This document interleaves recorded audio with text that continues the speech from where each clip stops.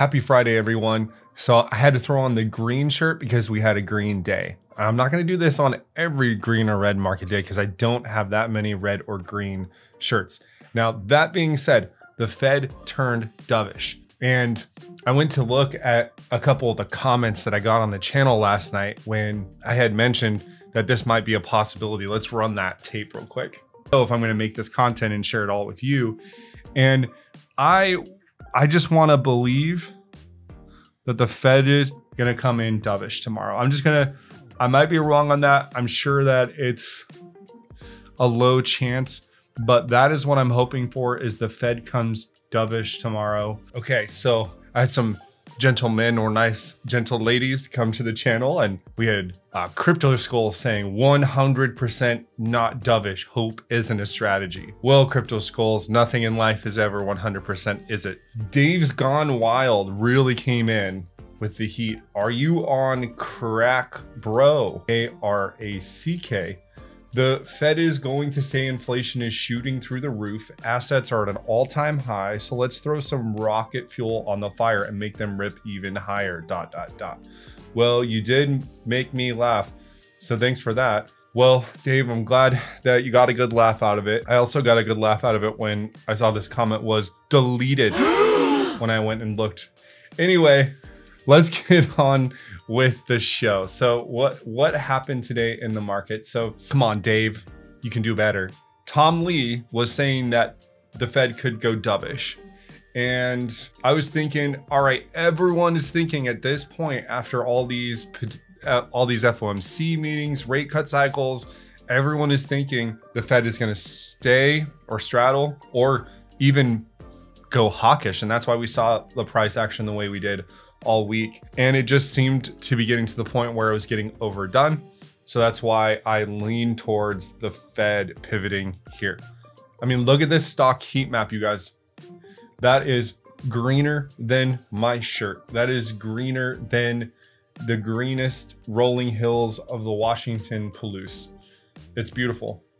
So today I want to talk about six different stocks. I want to talk about IonQ, Rigetti, SEALSQ, Ondas, Plug Power, and SoFi. So we got six stocks to cover, and I'm going to share some news that I've found. So as always, if you like content like this, if you like making money in the stock market, then click that like button because we did kind of this week. Not really. We we uh we made some we we made some back today, at least in my case. Anyway, uh, let's let's get into it.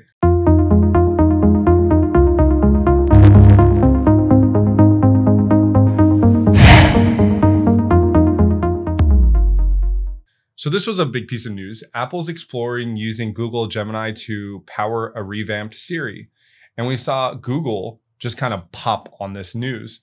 So basically, it's pretty well known that Apple Siri sucks and Google Gemini doesn't have that reputation of sucking as badly. So Apple working with Google would be uh, on a revamped version of the Siri voice assistant could be very nice.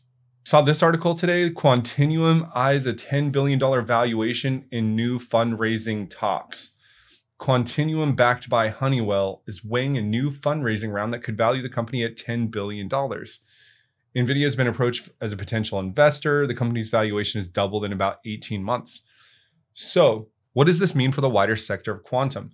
Well, one of the things you hear a lot, um, and since I've had this channel in 2025, I've had some pretty active contributors to the channel that are short quantum. And what they say is valuation, valuation, valuation. When you see a private company like Quantinuum that's not publicly traded, that is talking about a $10 billion valuation and a 2x in 2025, then it starts to overlay a little bit better on the public companies like Rigetti and IonQ and D-Wave and the levels and valuations that they're trading at. So interesting to see the companies are starting to become more valuable. Before we jump into the IonQ chart, IonQ patent count has surpassed 1,000 total intellectual property assets. So IonQ announced a new US patent that expands its intellectual property portfolio to more than 1,000 licensed, owned, or controlled patents and applications. The latest patents cover secure long distance networking. IonQ positions its growing patent estate as central to developing scalable, high performance, enterprise grade quantum systems that deliver commercial advantage. So, very nice to see IonQ building a moat similar to D Wave and many, there are 250 or so quantum annealing patents. Then we saw that Morgan Stanley disclosed a 7% stake in IonQ. So, Morgan Stanley's investment disclosed a 7% ownership stake. The stake positions the quantum computing company within the portfolio as one of the world's largest institutional investors. Institutional investors in IonQ also include Amazon, which reported a 36.7 million stake earlier this year. All right, let's take a look at IonQ's chart. So we have been seeing a lot of sideways action with IonQ for a while. So I mentioned one of the channel subscribers, Jeff, who I've been emailing back and forth he's been selling options on IonQ, and I feel like running the wheel, selling covered calls on IonQ, man, you could have made a lot of money. I mean, Theta Gang is definitely winning for the last at least four or five months. And if we go back all the way to May, where this rally and then we had this explosion, really it's just been a sideways king since then. But today, with the dovish Fed, we did see some nice green and we closed above 3950, which is a key level for IonQ. I would say it's the bottom of what I would consider this middle range. I'll, I'll just do a quick drawing so you can see what I'm talking about. So right here is kind of the meat and bone. So kind of got back into its lower range. I felt like 34 or 35 dipping down that far was a very good buying opportunity. If you if we look back on the chart, that preceded the 38% move and the rally, and it never quite got all the way down to the bottom of this candle, as you can see, but it got awfully close. And it looks like that was a good buying opportunity. It still seems institutions are trading this sucker like crazy. Rigetti in the last month has been very volatile and it has definitely come down to its rising support. I'll, I'll take, I'll, I'll zoom out and show kind of, I'm going to take away my drawing so it's a little easier to see. So basically we still have this uptrend. We, we also for a little while, we're getting a more accelerated uptrend, but that sold off. And now we are trading under $15 a share. So this yellow line so this yellow line is $15. And as you can see, since we had the 36 qubit chip announcement, which sent the stock flying up to 17, 17 and a half dollars, we have now given back almost most of that rally, but we had to bounce today off of support and we closed just above, just below 15. And if we look back on Rigetti, if we look back like a year, Rigetti has traded below 15 for the most most of the time. So for it to be trading above 15 is great growth for the stock. Let's hope that it can continue. Let's hope that what we're seeing today is a bounce. I actually thought Rigetti felt a little bit weak compared to the rest of the market when we saw so much exuberance in the rest of the market and even quantum stocks. Speaking of other quantum stocks, I almost forgot. We got to look at the quantum watch list. So Skywater was up today. QUBT actually had a 7.7% day. Some people ask me on the channel why I don't cover QUBT as much. I invest a little bit in QUBT. I think it's interesting what they're doing. I just I want them to be more open. Uh, if anyone knows anyone that works at QUBT, uh, it's very unlikely because I think there's like 20 people that work there. I don't know. Um, but the more open they are with investors, the more I'm going to cover them. In the meantime, I don't give a ton of coverage because I feel like they take one question on an earnings call and then that's it. They don't really share much about what what's going on with their research and company. So I, I just have a hard time, and I know other investors have a hard time trusting them. Um, that's something they need to work on.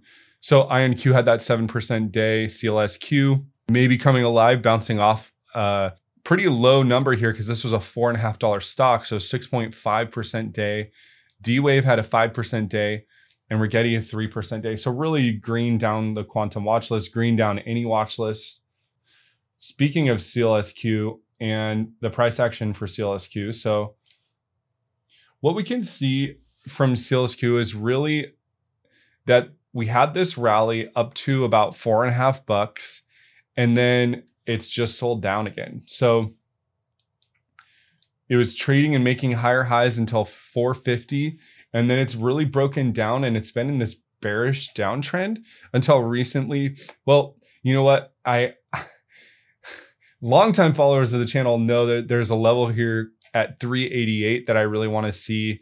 Um, and we're really far away from 388 on LAES. So I'm not even close to calling a reversal on LAES yet, but it's good to see a green candle. It's good to see a couple uh, day candles in a row that are green. So that's three day streak for SEALSQ when you can see that they, there were many, many, many red days for SEALSQ going into uh, this Jackson hole. Nice to see a little bounce for SEALSQ. All right, so Ondas. So we've been covering Ondas on the channel a lot, and the stock is exciting. It moved up another 18% today. So if you guys are in this, just be careful. You know, stocks like this can go up really fast and they can come down just as fast as they go up. So if they don't have legs or if there's a rug pull, it can come back down to there can be a big so you have to be careful about your entries and you have to be careful about your risk management. I personally am long on Ondas, so I want to put that out there. But the growth has been incredible and the headlines from Ondas have been incredible. I think the chart speaks for itself. It quite easily knocked out its 52 week high and now it's hunting for the 2022, 2021 and 2020 highs. And that would be a lot of upside from here. Numbers to look at would be 8, 10, 14. Of course, that would be a huge move. Of course, there's going to be volatility before that happens. We haven't really had enough price history or been in the stock long enough. My entry for Ondas was around here-ish about the same spot as Gene. So I'm I'm learning about this stock as we go. I'm not recommending anyone enter it, but it's interesting nonetheless. They're doing well. Um, so go on this. All right, plug. So this is my. I haven't talked about plug on the channel for a little while.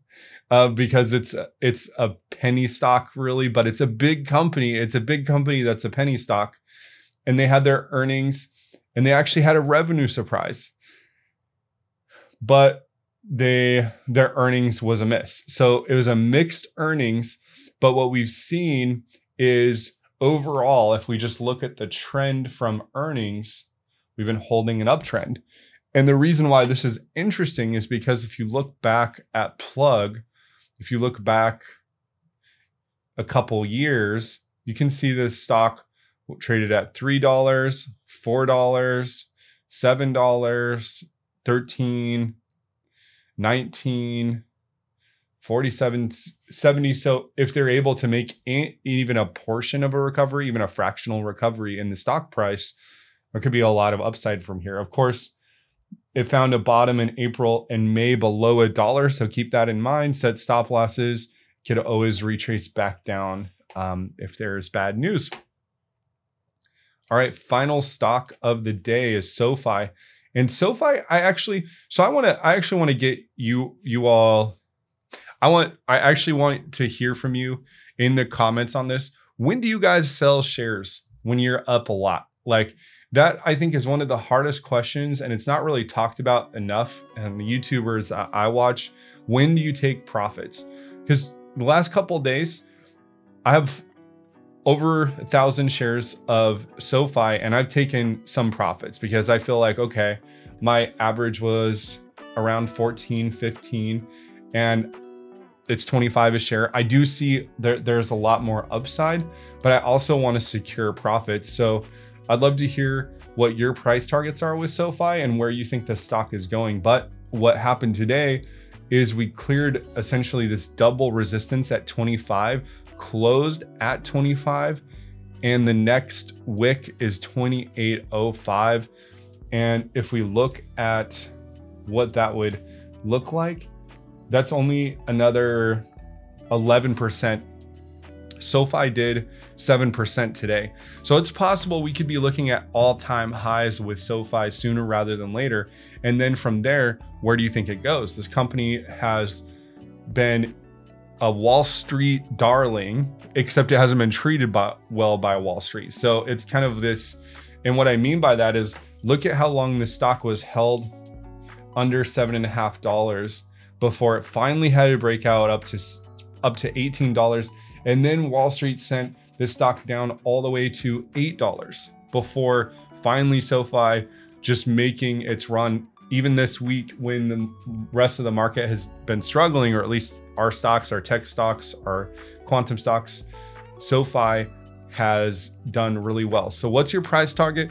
When do you guys take profits? What do you think um, is a bull case, bear case?